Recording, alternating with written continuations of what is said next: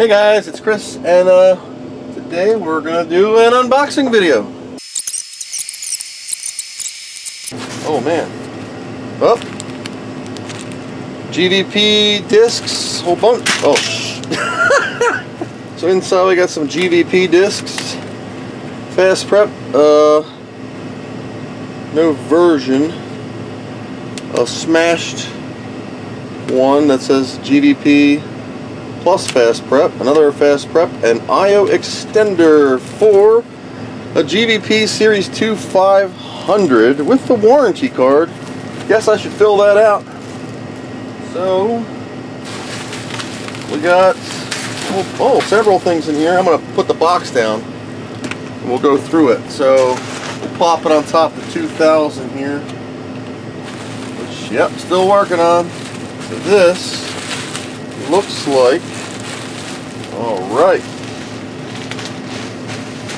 A one with a hole in it. Some loose screws. It's a GVP uh, Impact Series 2 Amiga 500 uh, hard drive controller with a little off on and it looks to be in pretty rough up shape. The screws are all loose to missing. Pop the cover off here so we can see just what we got. We got has a little fan underneath that's unplugged, uh, very dirty. No, uh, has some memory in it. Looks like four megs. Uh, 3.07 ROM. Very, very dirty. Uh, 50 pin hard drive cable. Well, that's one of them. Said it's in uh, pretty rough shape. Here's another one. We got second one in the batch. This one is in much better condition, solid. Uh, as you can see, there's no hole cut in it. Another GVP Impact SCSI controller. The lid off of this one. Fan is in better shape. Hard drive light is intact. The jumper settings on the board 4 megs on board, SCSI controller, and the metal plate. So this one's in a lot better shape. It smells really bad. It does have the uh, riser board for the I.O. 50 pin hard drive cable. No hard drive, so we will be putting a hard drive in it. And of course, the old big bulky GVP external power supply that stinks really bad. So only one power supply and two GVP boards. Has the standard four pin DIN that most likely should go on the back. Yep. So we're gonna remove the 2000 here and uh, get the 500 out and see what we can make happen back. We Stay tuned. Amiga 2000 down. We got the 500 uh, booting up. Workbench 2.1 it has a 2 ROM, 2.1 ROM, uh, 1 mega chip RAM, nothing else. So we know that works. We don't know the status of this thing, so I'm not going to put the cover on it right now. This is the one without the hole in it. Um, I also, let's turn the uh, 500 off. So we have to open up the side caddy door here, which hasn't been removed in ever. Okay, so there's the support mount underneath. It's inserted.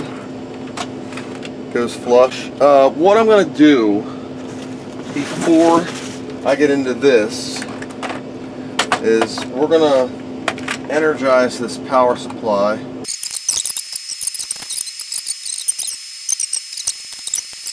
This SCSI hard drive. SCSI, SCSI hard drive. Was a Quantum LP52S. It's Workbench 3.1. Worked fine in February. 52 meg hard drive, but it's 3.1. Well, shit me. Let's turn the uh, Amiga on Why that power supply wasn't putting out. 2.0 ROMs.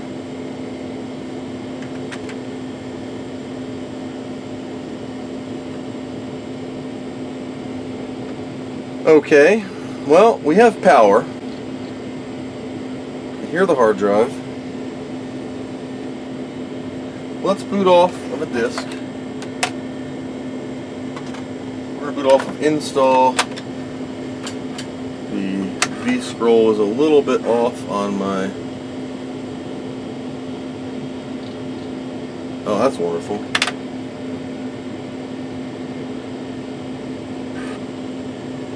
Come on. Ah, poop. Well, that ain't good.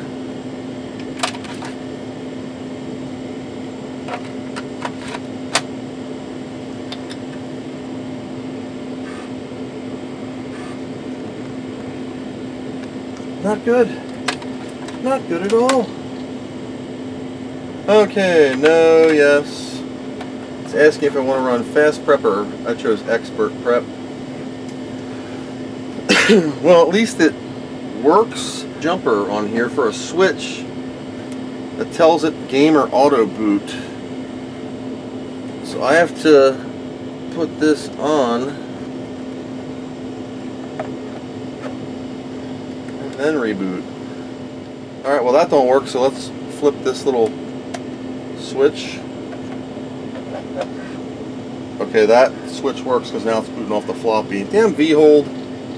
Nothing. Nothing. Nothing. Nothing. Nothing. Oh! Aha! Look at that. Quantum 49. It's on ID number 3. So I have the switch in backwards.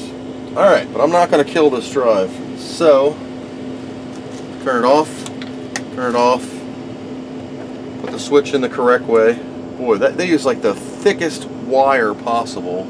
Alright, let's get another drive that I can destroy and not give a hoot about. This is DH5, ID number 2, no files. It's nice to have a 500 with a hard drive again. Alright, we're going to just sit this back here. And I'm just going to turn it on. Hard drive spinning up. There's no light here. I have to figure the hard drive light out. Okay. Oh, I forgot to hook this stupid jumper up. I don't know why somebody would cut a hole in this. Did they think they were cooling it? I really don't know. This one's in really crusty shape. Really crusty shape. I have to look at the uh, configurations. There's some cardboard wedged in it. I don't know what it is. 2, ID2.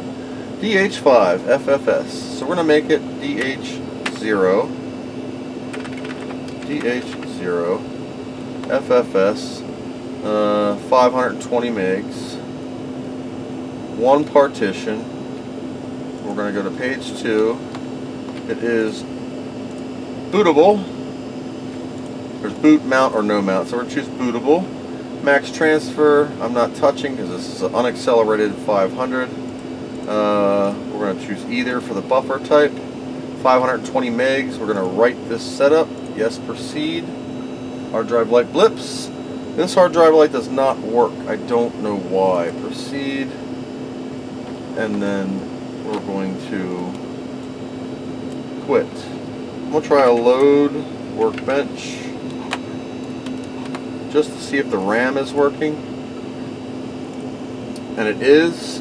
It looks like it has 4 megabytes on board. I don't know if you can see that very well, but I just want to give you the overshot of the whole thing.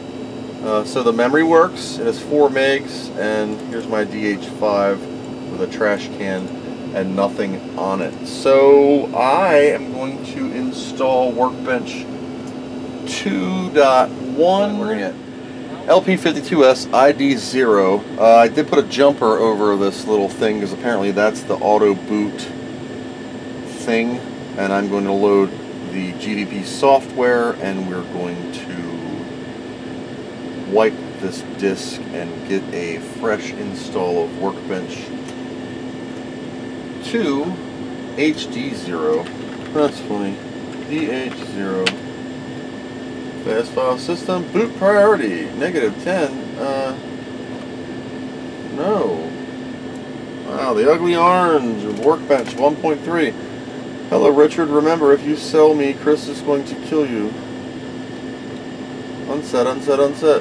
I must have made a custom disc for someone named Richard. That's funny. Alright, so I don't even see it. On the PC I loaded Amiga Explorer. I'm copying the, the 7 minutes remaining on 19.2 baud over a USB to serial cable. So we're copying the uh, install.adf to RAM. It's at 4 megs, so it should be working. And we're also going to copy the program to write the ADFs. So we're still copying. Three minutes, 30 seconds remaining. I'm actually writing it to DH0 here. You can see the hard drive flickering. Remember, it's only 52 meg hard drive, so this is going to be like nothing, uh, nothing crazy. So since DH0 is functional, I'm copying it to DH0, and I had to lower the baud to 38 or increase the baud to 38.4. I tried 57.6, but 38.4 is the maximum the serial port can handle.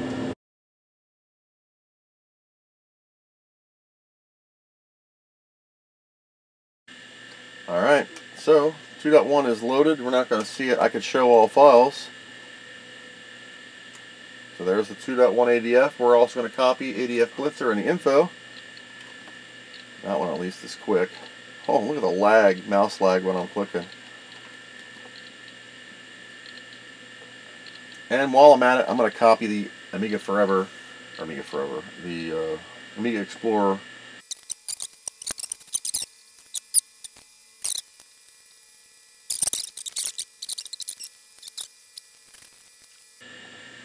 Ta-da! Okay, so this pooped out, so I'm going to reboot. Okay, so small update. I'm using the new Go ADF, uh, bitplan.pl slash Go ADF. It's 2019 program. So I have the the uh, I have the ADF in DH0. It's going to write install 2.1, write ADF to disk. Yes. Gives you a block by block what's going on. It's a pretty nice program first time I've actually had a need to use it. You can also mount virtual floppies for ADFs, so check it out.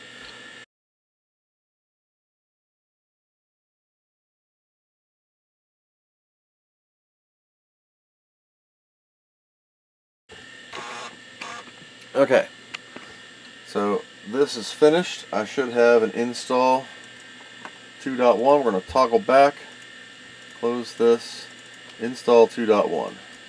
Awesome. Hey, V-hold. Alright, so we're going to take install 2.1 out. We're going to put another floppy in. Hopefully it's blank. Hey, what's going on? Stop. Ugh.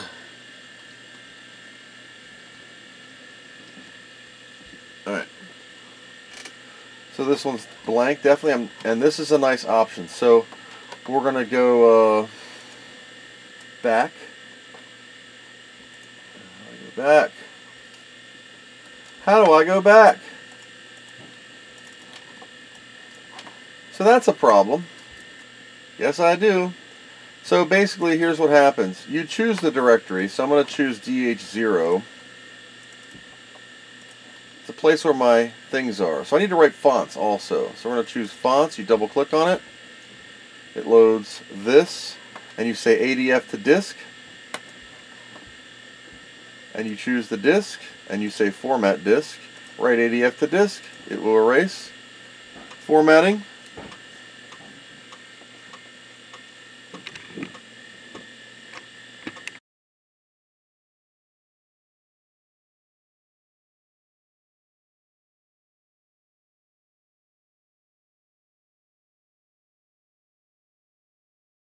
So I know Workbench works. This is a fresh install and a fresh fonts. Okay.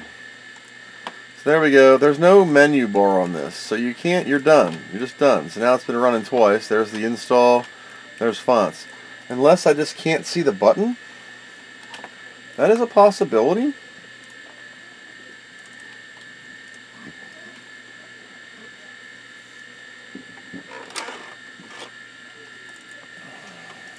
Don't think I have screen mode in here. Yeah, no. Okay, so here we go. Install 2.1 workbench 2.1.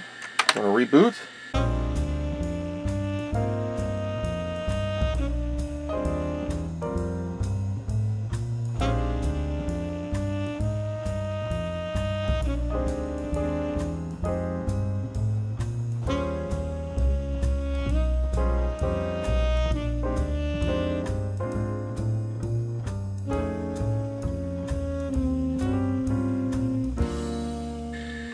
Hard drive light is uh, doing its thing here. And we are rocking with DH0, a Quantum LP52S SCSI hard drive from long ago. So now let's see what we can do as far as resolution. Oh my god, this is slow. I'm so used to the... Oh, it doesn't have cleanup. There's no hotkey of right Amiga period. Oh. CRTs, man, there's, oh my gosh.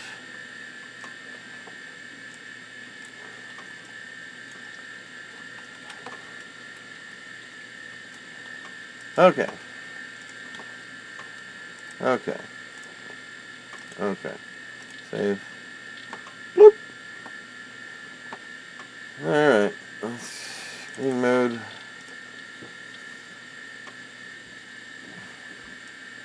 Sixteen colors. I doubt it. do eight. Rock on.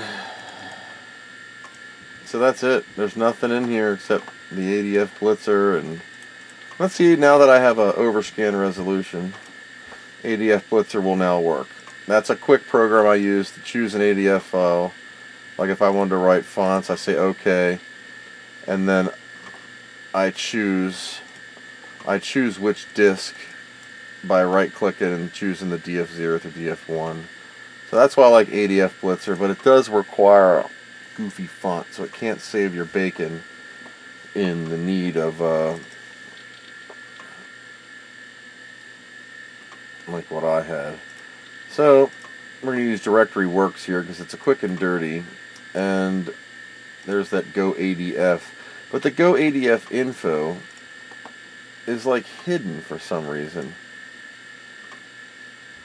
So we're going to grab its directory here. We're going to add an icon which is on this side add icon. So now when I update I'll actually have a Go ADF icon right here instead of doing the show all. And then we can see the program. There it is. Snapshot all. So that saved the bacon. It took a while. I apologize for the length of this video. But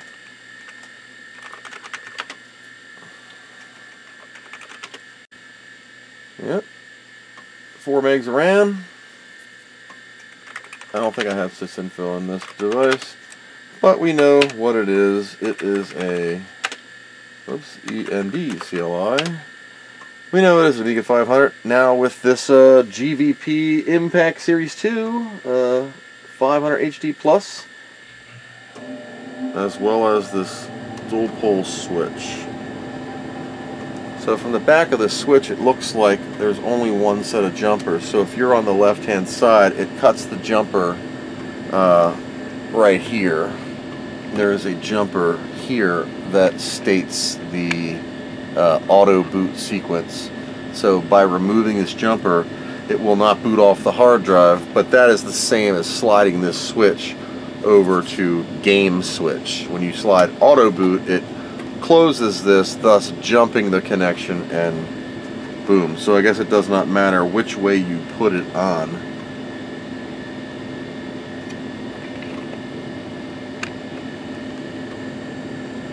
So everyone, thank you for watching this extended video on saving the the GVP here. and uh, apparently it works fine. I will have to go over the capacitors and replace them. There are three axials, four axials, I'm sorry, and we'll be updating that, cleaning it up, and testing the RAM with some utilities now that I can get it back online. So that's it guys. Thanks for watching. Thumbs up, uh, comment, subscribe, like, share. Feel free. And uh, we'll do some more Amiga 500 videos now that we have a hard drive and we can do some more stuff. So thanks for watching. Take care.